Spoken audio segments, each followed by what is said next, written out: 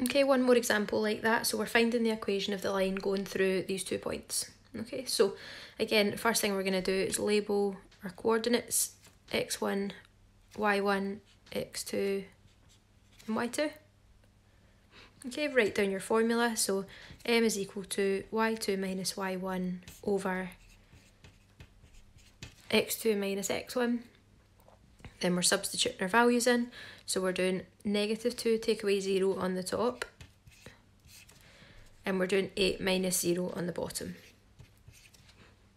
Okay, so that's going to be negative 2 over 8, which when it's simplified is going to give you negative a quarter. Okay, so that's our gradient that joins these two points.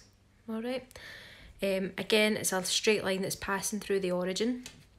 Okay, so all that means is on your graph, origins here where your two axes cross and your straight line is going to be passing through that. Okay, and again, any line that passes through the origin has the equation y is equal to mx, where m is the gradient, and we know that the gradient is negative a quarter, so it's just going to be y is equal to negative a quarter x because we're just replacing m with our gradient.